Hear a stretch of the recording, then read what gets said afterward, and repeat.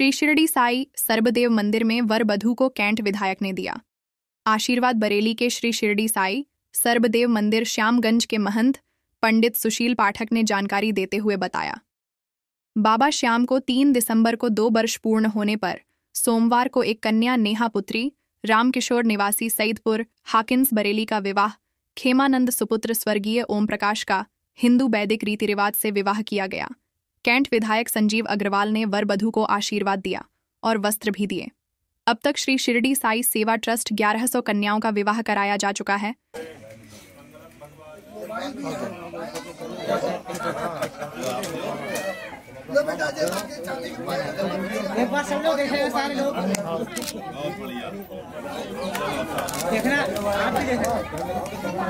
यहाँ का बहुत प्रतिष्ठित मंदिर और हमारे यहाँ के पुजारी पंडित सुशील पाठक जी पूरे मनोयोग से ठाकुर जी की सेवा करते हैं और पुण्य और समाज को जोड़ने के काम करते रहते हैं। इसी श्रृंखला में आज इनका एक हज़ार ग्यारह सौ एक। ग्यारह सौ एक में ये शुभ विवाह करा रहे हैं। वर वधू को आशीर्वाद दे रहे हैं और बहुत ही ये पूर्ण लाभ और पूर्ण का काम है कि वर वधुओं को आशीर्वाद देना, उनका विवाह संपन्न कराना, इस शुभ अवसर पर मुझे भी यहाँ आने का, उनको आशीर्वाद देने का और उनके साथ इस विवाह में सम्मिलित होने का सौभाग्य प्राप्त हुआ। इसके लिए मैं पंडित सुशील पाठक जी को बधाई देता हूँ और धन्यवाद देता हूँ। वर वधु को भी जीवन में बहुत खुशियाँ आएँ, सुख शांति समृद्धि हो।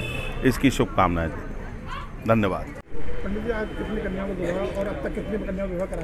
देखिए, कल तीन तारीख को हमारे बाबा खाटू श्याम को बैठे इस मंदिर में दो साल हो जाएँगे। दो द्वितीय वार्षिक उत्सव के उपलक्ष्य में आज एक कन्या का विवाह कराया है। अब तक 1100 कन्याओं का विवाह शिरडी साई सेवा ट्रस्ट करा चुका है, जिसमें आज और वृद्धि हुई है यानी 1101 कन्या हो चुकी हैं। आपको ध्यान होगा 2015 और 16 में हमें एक उपलब्धि मिली यानी हमारे उत्तर प्रदेश के महामहिम राज्यपाल दो बार आशीर्वाद देने हमारे ट्रस्ट के इस कार्यक्रम में वैवाहिक कार्यक्रम में आ चुके हैं और कन्याओं वर वधु को आशीर्वाद दे चुके हैं।